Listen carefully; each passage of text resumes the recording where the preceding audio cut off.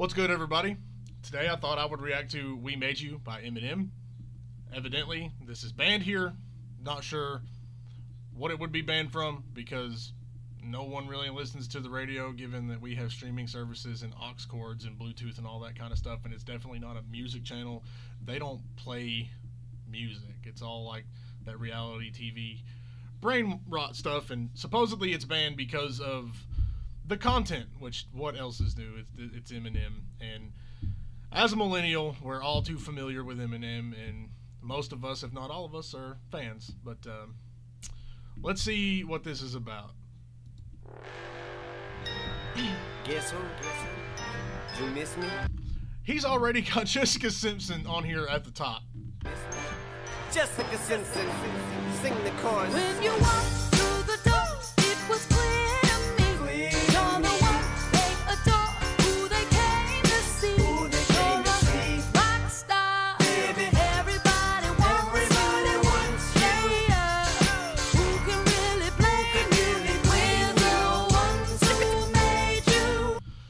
Clearly, the top of this says it's Charmaine Tripp, so that's clearly not Jessica Simpson. Back by popular demand. Now pop a little if you can. You're ready to tackle any task that is at hand. How does it feel? Is it fantastic? Is it grand? Well, look at all the massive masses in the stands. Shady man, no,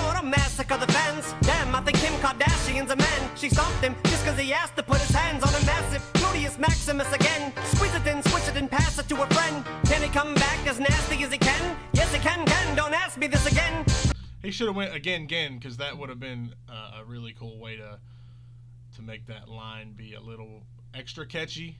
The the small co- uh, callback there, that'd be really cool. He does not mean to lesbian offend, but Lindsay, please come back to seeing men. Samantha's a two, you're practically a ten. I know you want me, girl. In fact, I see a grin. Now, Is that a like call out to Lindsay Lohan? I don't know what year this was rele- released, so I don't know which celebrities were relevant. Come in, girl.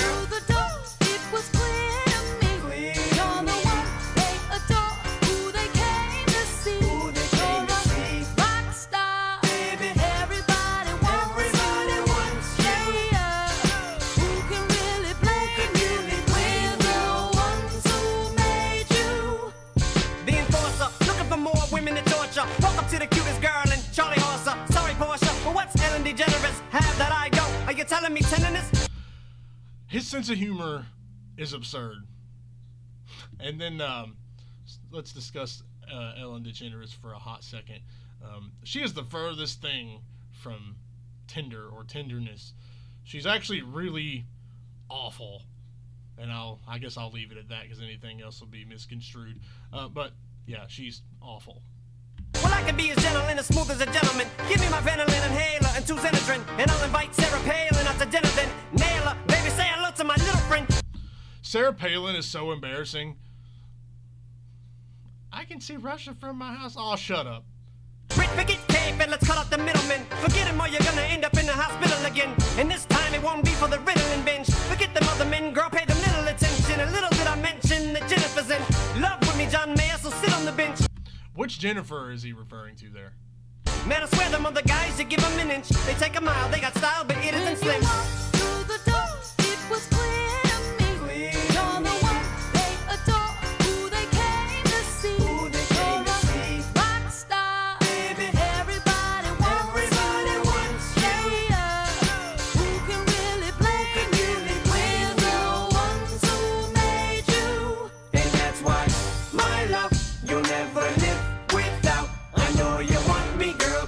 Can see you checking me out. And baby, you know, you know you want me to. Don't try to deny it, baby, I'm the only one for you. Hearing the word baby in a song is cringe, and then when they ad lib, uh, like, oh girl, or oh boy, or whatever, like referring to just like a general human being, like in the context of being in love or having a crush or some shit like that, I think that's really cringy. I really do. And I think it's meant to like sway the, the average listener because it doesn't provide any specificity. It's just very vague and opaque. Damn girl, I'm beginning to sprout an alfalfa. Why should I wash my filthy mouth out? You think that's bad? You should hear the rest of my album. Never has there been such finesse and nostalgia. Man cast, I don't mean to mess with your gal,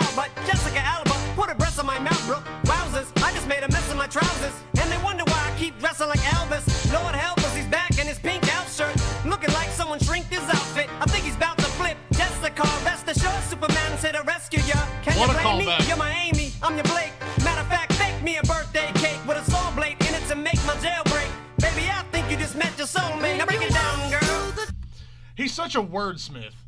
I don't know sometimes what he's talking about, but the way he puts it together is amazing.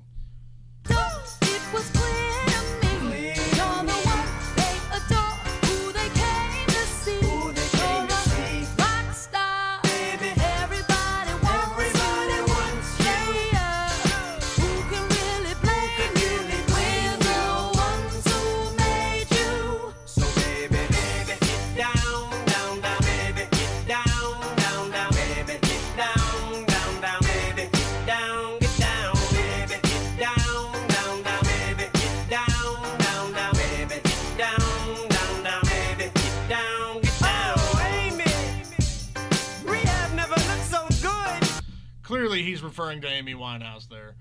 And listening to that baby get down, down, down, down, down, down se- section was really hard. Like, that was so annoying. I can't wait. I'm going back. Woo! Dr. Dre, 2020. Yeah. This wasn't made in 2020, was it? I feel like this was early 2000s, maybe near 2010 or so, and he's just being a goof there. But uh, I don't know. I don't remember hearing anything about this in 2020.